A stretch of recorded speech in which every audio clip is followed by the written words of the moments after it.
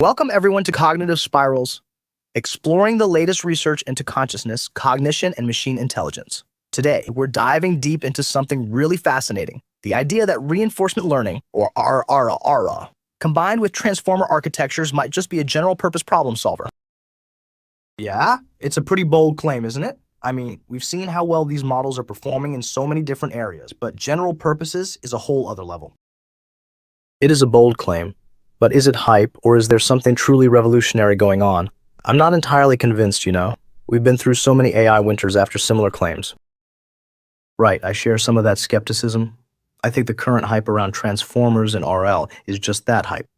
I mean, they can do impressive things, sure, but are they really understanding the underlying problems, or are they just really good at mimicking patterns?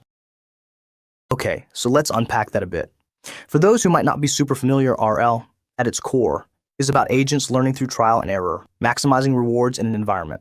Think of a video game player learning to optimize their moves through experience, transformers. On the other hand, are these powerful architectures that are really good at processing sequences, like text, for example. They're the backbone of all these large language models we've been hearing so much about. Exactly. And what's fascinating is that when you combine these two, you get something that seems capable of tackling a remarkably broad range of tasks. Like, you're not just stuck in the text domain or the game domain. You can start moving between them. I agree there's potential. I just think we're missing a key piece. They are good at recognizing patterns and optimizing decisions within very specific parameters. But real-world problems often require more than just pattern recognition. I mean, they need, you know, an understanding of underlying principles and how things work. Exactly. I think the real-world translation is where they fall apart. You get these impressive demonstrations on very curated datasets, but then they fail miserably when faced with something slightly out of the ordinary. There isn't this inherent understanding that we humans possess. That's fair. So let's look at some examples. We've seen RL agents mastering complex games like Go or StarCraft, where they are learning incredibly sophisticated strategies from scratch using transformers as the underlying architecture. We've also seen language models using transformers generating, you know, incredibly coherent and contextually relevant text. These are things that were pretty much science fiction not too long ago. And not just games and text. Look at robotics, for example. We're seeing RL being used to train robots to perform complex manipulation tasks, like assembly or even surgery. Transformers can handle the complex sensory input from the robot's cameras, processing the environment and feeding that information to the reinforcement learning algorithm so the robot can make informed decisions. These are tasks that require very complex reasoning about space, time, and physical constraints.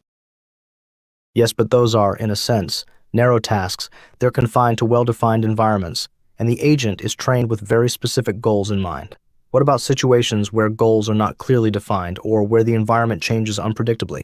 I mean, can these models really handle those real-world scenarios, you know, where things aren't so perfect? That's exactly my point. It's the ability to generalize beyond training data that worries me.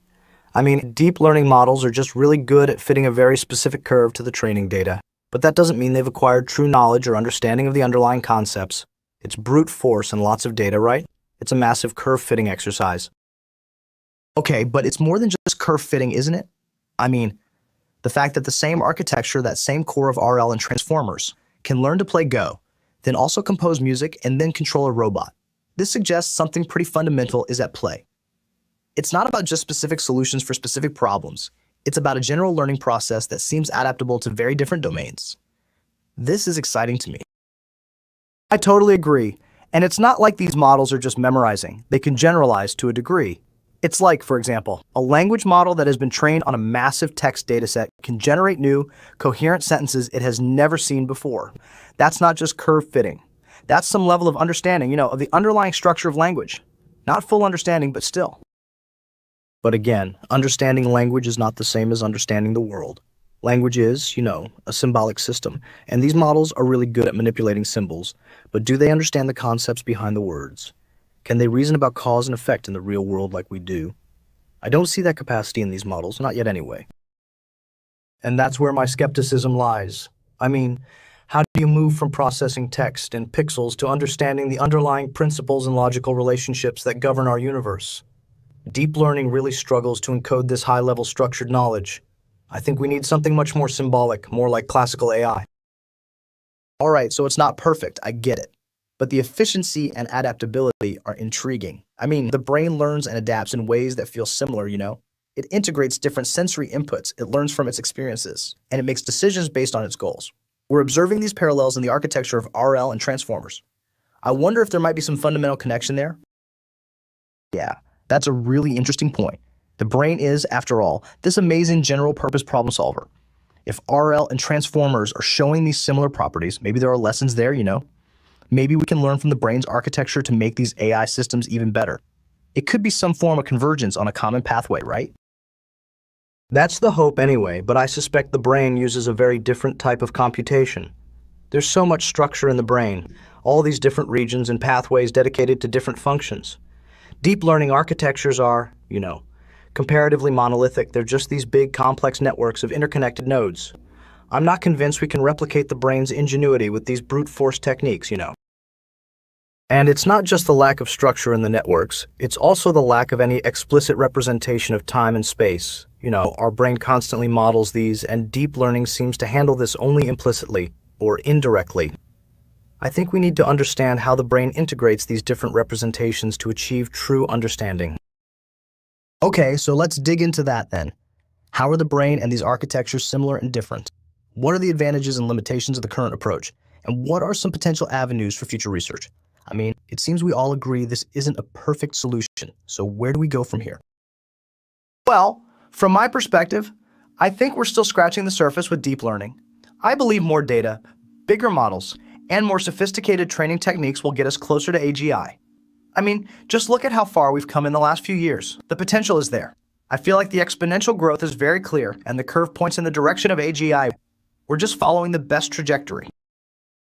I'm not so sure. I think we need a fundamental shift in how we approach AI. We need systems that can reason with structured knowledge, that can understand causal relationships, and that can generalize to new, unseen situations. I think the neurosymbolic approach is the way to go, you know, combining the best aspects of neural networks and symbolic AI. I agree with that. We need something that is able to integrate and translate between different coordinate systems. I suspect the key is understanding spatiotemporal representations and how to translate between them, how the brain represents 3D space and abstract symbolic spaces, and how to translate between these. The current deep learning approaches feel so brute force. Okay, those are some really interesting viewpoints. So let's unpack each one a little more. Starting with you, what are the next steps? I mean, what research would you propose in light of your belief in the power of deep learning? Right. So, I think we need to keep pushing the boundaries of deep learning. I'm really interested in scaling these models even further, experimenting with different architectures, and exploring new training techniques. For example, what is the optimal dataset composition for reaching AGI? I think there are a lot of untapped potentials in identifying the bottlenecks that prevent these models from achieving true general intelligence. We also need to develop more robust metrics to truly capture the nuances of emergent intelligence. And I think we need to move in a different direction, away from purely data-driven approaches. I am keen to explore more advanced neurosymbolic architectures, perhaps like those based on logic programming or hybrid systems. The focus should be on building transparent and modifiable systems that can reason with structured knowledge. We also need to investigate how to incorporate these symbolic elements within RL and transformers. I'm convinced that's where the true power lies. We need to get away from the black box nature of deep learning. I agree. And I think my next step would be to investigate the mathematical and computational foundations of representing spatiotemporal data. I'd like to see if we can define core algorithms that can easily translate between different coordinate systems, allowing AI to seamlessly move between symbolic representations, spatial representations, and neural network representations. I'm convinced the answer lies there, and that will need an approach that is far from the brute force, data-centric approach. Okay, so I'm interested in how RL and transformers can be improved to better mimic biological neural processes. I think exploring neuromorphic hardware to accelerate the development of these hybrid neuro AI systems is key. I want to focus on the importance of representing knowledge, not just data. A true understanding of how to best mimic the brain's processing should be the direction. We also need to investigate how RL and transformers address the critical aspect of multisensory integration and improve these architectures to better mirror this function. That's an interesting avenue, neuromorphic hardware could indeed offer a more efficient and biologically plausible platform. It would be interesting to see how this would accelerate the learning and convergence of these models. Yeah, neuromorphic hardware could definitely be a crucial element. If we could make it work together with symbolic computation and neural networks, I think we could be in a better position. but I'm also thinking we need to investigate how these networks handle causal reasoning, not just correlations. We need to move beyond pattern matching. Mim. Right. I feel that the translation between coordinate systems is such a fundamental aspect of intelligence that current deep learning approaches completely miss. So I think that's the biggest bottleneck in achieving AGI. I suspect the brain's ability to handle these seamlessly is why it's so powerful. And the models that I am working with have huge issues when trying to translate between these systems. Yes, and I think it's important not to get too caught up in the hype of current models.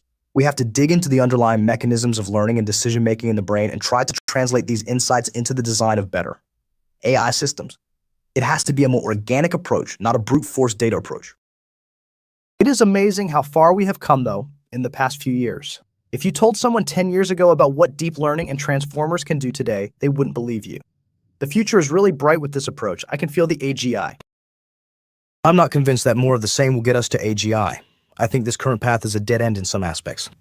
I really feel like a hybrid neurosymbolic approach has to be the next step to make progress in this field, and I think we are very close to seeing a new paradigm shift. I agree there has been a lot of progress, but I do think the current focus on deep learning is a distraction. It's like we're trying to solve a fundamental problem with an overly complex and inefficient approach. Until we understand how to do this translation between coordinate systems, we will always have an issue with generalization. Well, it sounds like we have a very active and dynamic research landscape, a lot of interesting directions to explore. It's clear this is just the beginning of a long journey. It is so interesting to see the different paths being explored. It's very exciting. Definitely. And as these models evolve, it's crucial to keep in mind the ethical implications and potential unintended consequences.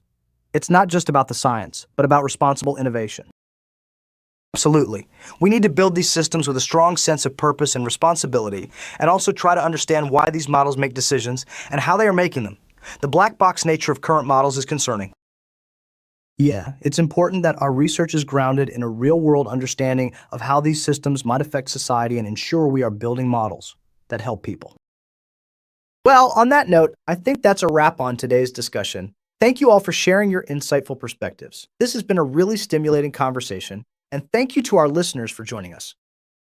Thanks, everyone. Thanks. Cheers.